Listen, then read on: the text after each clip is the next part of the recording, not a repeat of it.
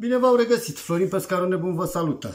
Uh, propunându-mi să plec uh, pentru câteva zile în Delta, mi-am uh, început să lucrez câteva monturi cu care eu am avut, pot să spun, ceva succes ultima dată și ultimile dăți. Pentru astăzi am să vă propun o montură puțin mai deosebită. Pentru aceasta luăm în jur de un metru de fir. Eu am să iau un 0,25 cu care am să leg acele folosind ace puțin mai mari fiind pe Dunăre. O dăm o dată în două și încă o dată. Și am obținut o buclă sus și patru fire jos, da? Bun, o punem puțin deoparte. Mai avem nevoie de un mic momitor, pardon, un mic momitor, dar mic, din acela de 2 cm cu un, până într-un centimetru grosime și cu lisant. Prin acesta vom trece o gută mult mai subțire. De această gută ne vom folosi ca de o sculă.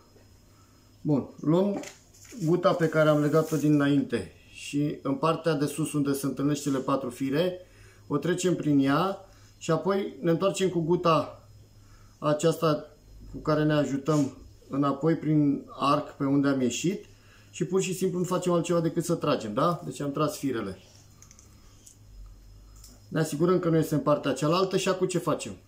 Clasicul nod spre capăt. Aici va veni, legat, uh, uh, va veni legată linia cu plumbul de greutate pentru, pentru fund. Da? Facem clasicul nod. Îl dăm de una, două, trei, patru, cinci ori. Îl udăm. Așa. Acum ne ajutăm de o sculă să încercăm să-l tragem cât mai aproape.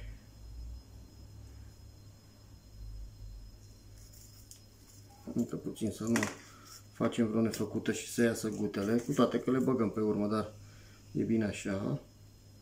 Mai luăm ceva aici.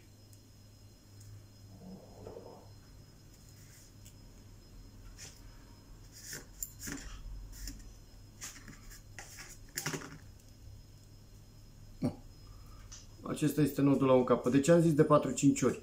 Uh, dând decât de trei ori cum suntem obișnuiți, riscăm ca la un moment dat, la o sarcină mai mare, cumva guta să fie trasă de pe monitor. La capătul celălalt, acum, vom face aceeași chestie. Hai să o răsucim puțin ca să putem să facem nodul mai elegant, da? Aceeași chestie, băgăm una, două,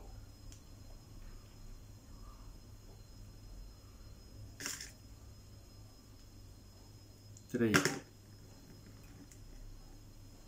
Să mai încercăm încă o dată. Sunt patru fire. Atenție să le, să le băgați pe toate patru odată, că dacă unul rămâne în urmă cu uh, rămâne în urmă și nu, nu-l introduceți în nod, acest nod va fi perimat și se va rupe. 4.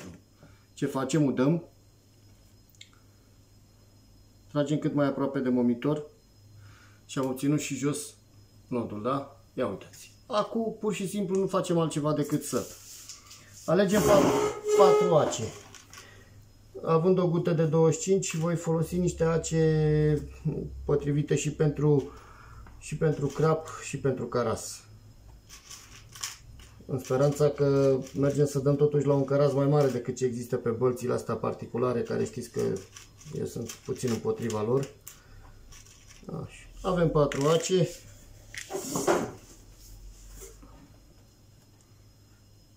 Luăm și măsurăm să le tăiem pe toate egale. Eu de obicei le cam la un lat de palmă, să zicem, da?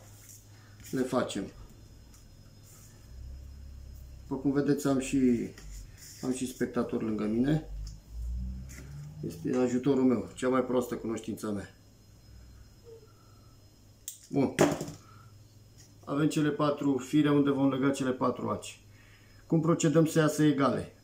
Nu facem altceva decât punem firul în două, având ace cu barbetă, vom face legătura clasică de A cu barbetă. Punem acu în buclă și începem una, două, trei, trei, patru, cinci, șase, șapte, bun. Introducem prin buclă Ia să vedem cu ce mă ajut eu aici.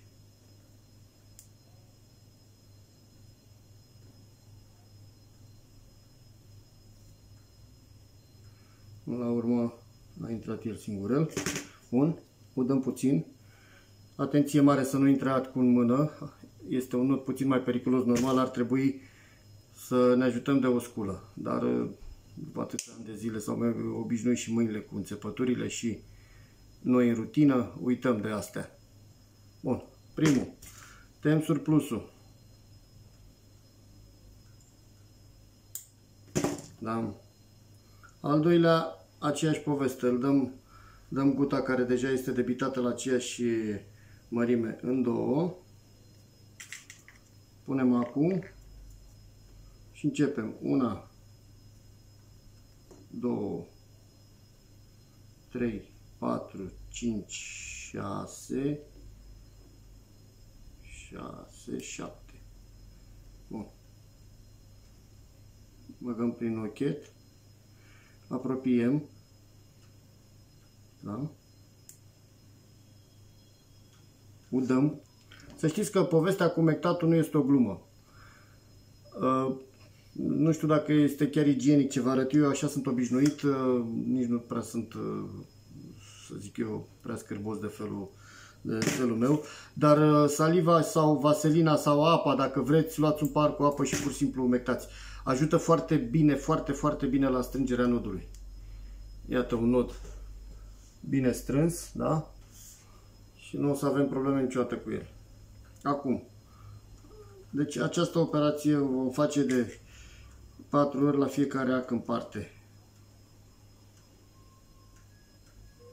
Legăm 3, 4, 5, 6, 7, da? Băgăm prin el, tragem, umezim, strângem, mai încercăm puțin așa. Este bine să folosiți cât de cât uh, gute de calitate și să știți că există gute care nu sunt neapărat de o firmă anume. Sunt gute și mai ieftine de o calitate foarte bună, dar uh, care nu sunt de îndeajuns promovate. Eu acum folosesc, uh, acesta cred că este un, un, un Trabuco, care la 300 de metri costă vreo 25-28 de lei, depinde de unde luați. Extraordinar de bun. Extra, o, o gută fără, fără memorie, nu se întinde, este nemaipomenită și ține foarte bine în nod. Aici se vede puțin calitatea, calitatea fiecarei gute. Trabuco Velvet, parcă i-a zis. 5, 6, 7.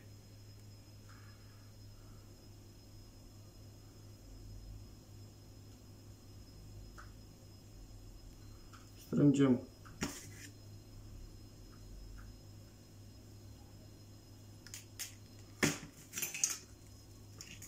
îndepărtăm surplusul de fir și aceasta este, acesta este momitorul nostru.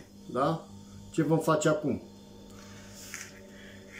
Vom lua o, o, un vârtej, strângem cele două capete ale buclelor de sus, le băgăm prin vârtej, trecem buclele peste vârtej și iată punctul nostru de legătură cu plumbul, da? Acum, pentru am pregătit un plumb de, cred că e de 60 de grame, da? Un plumb cu, cu tubulețul pe care știți că l-am făcut într-o emisiune, chiar cred că acela este care l-am făcut noi la emisiune. Vom lua pentru linia principală o gută apropiată cu linia de pe mulinetă, deci nu mai mică, uh, nu mai mare, în cer scuze, egală sau puțin mai mică, dar de obicei egală este, este ideală. 30 de centimetri. Aici nu mai avem nevoie, trecem direct.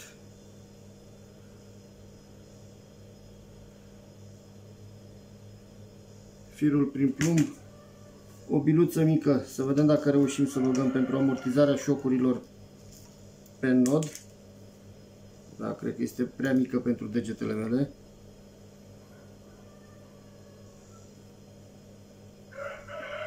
Dar totuși atelierul mâini dibace, dar bătrâne și-a făcut datoria. Băgăm, facem un nod, faceți noastră orice nod pe scăreț care știți că îl puteți folosi aici.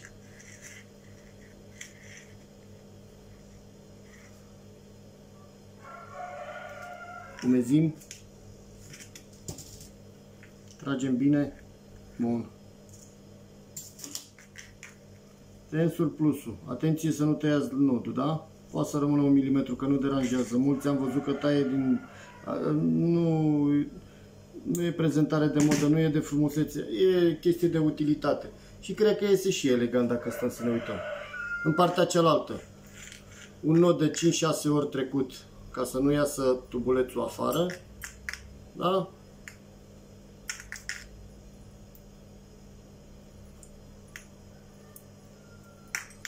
Strângem. Am obținut un nod, un nod serios. Un nod de, pentru pescar serios și un nod serios, da? Ia uitați Sper că se vede.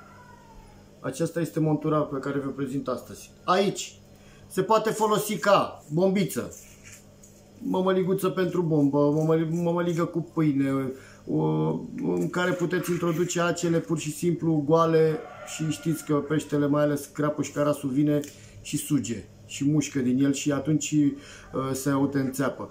Sau orice altceva ce vreți să puneți dumneavoastră pe monitorul ăsta și în A ce puteți pune râme, uh, viermuși, pe fiecare câte, uh, câte o momeală diferită, ce doriți noastră. Eu o folosesc foarte mult ca bombă. Să știți că dă rezultate foarte bune și nu o singură, nu odată am avut uh, surpriza să iau și șalău și câte o știuculiță că vine după poetul care vine la mămăliguță. În speranța că va fi de folos ceea ce v-am arătat, vă doresc fi întins, vă invit în continuare uh, pe canalul meu de YouTube. Știți că este gratuit, ne întâlnim, schimbăm păreri, uh, nu învățăm. Pur și simplu facem schimb de experiență unii cu ceilalți Florin Pescarul Nebun vă salută. La bună vedere!